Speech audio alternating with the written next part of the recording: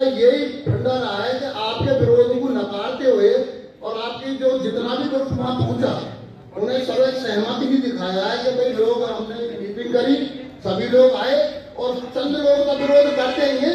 बाकी सब सहमत हैं और कोई दिक्कत नहीं है, आप जो है प्रक्रिया अपनी बढ़ाते रहे। हो उसी कड़ी में उन्होंने जो जिसमें के पी सिंह जी और हमारे धर्मेंद्र भाई कमेटी के सदस्य के रूप में इन्हें नियुक्त किया गया।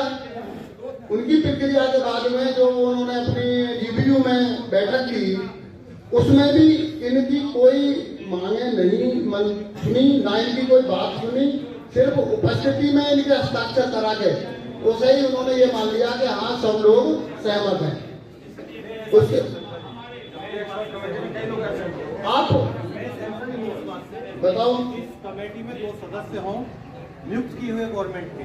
और वो अपना विरोध जता रहे हैं फिर भी उनसे साइन करा रहे हैं मैंने आप क्या कही उस उस ड्राफ्ट पे साइन इनके नहीं कराई मैं भी वही कह सिर्फ़ अटेंडेंस पे साइन कराने के बाद में जो ड्राफ्ट बना है उस ड्राफ्ट पे इनके सिग्नेचर नहीं कराए गए देखिए उसमें क्लियर लिखा जाएगा कि मजदूर एकता किसान मजदूर एकता सभी देखिए, सभी लोग यहाँ आए जो इधर उधर खड़े, धूम में खड़े, ठंड का मौसम है, हम समझ रहे हैं इस बात को। इसी क्रम में हमारे मीडिया के कर्मी हमारे बीच में हैं सम्मानित। तो वो दो मिनट हमारे, एक दो लोगों की बाइट लेंगे, जरा उनसे वे ले लें अपना, क्योंकि वो भी जल्दी जाएँगे। हमारी पंचायत में वक्ता बहुत है, बैठिए आप लोग साहब। सब लोग बैठे जरा। आइए। साहब जब से वो ब्याज दे रहे हैं जब से ब्याज मतलब दो लाख या डेढ़ लाख जो बैठा है वो दे के किसानों को बहका रहे हैं। हमें बिल्कुल वो नहीं चाहिए। और हमें तगड़ा चार चौकड़ा जो बोल रहे हैं चौकड़ा तो या बारह परसेंट, दो हज़ार अठारह नवंबर से जो दिया है, उसका हमें बारह परसेंट दे दो, हमें चालीस लाख से ऊपर पड़ेगा। हम कोई ज़्यादा नहीं मांग रहे। जो सरकार दे रही है, उसी का तो मांग रहे हैं। उसका जायज़ जो हमसे लेते हैं, ब्याज जो हमसे लेते हैं, वो ब्याज हमें दे दो दो हज़ार अठारह से। तो इसमें जायज़ है कि हमारा जो चालीस से ऊपर बैठेगा और ना हम इस इस बात पर राज़ी होंगे कि हमें कम दिया जाए।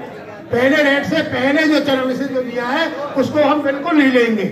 हमें बढ़ा के लेंगे और ये हमारे सब किसानों की मांग है। का ब्याज लगा लीजिए, तेईस सौ पे दो ढाई सौ रुपये बन गया, दो सौ सत्तर के करीब। अब तो महीने लगा लीजिए, दो हज़ार रुपये तो आप लोगों के अभी बढ़ गई और तेईस सौ प्लस दो हज़ार, पच्चीस सौ रुपये हो गया। इसे आप तीन चार महीने भी खेच देंगे चुनाव तक।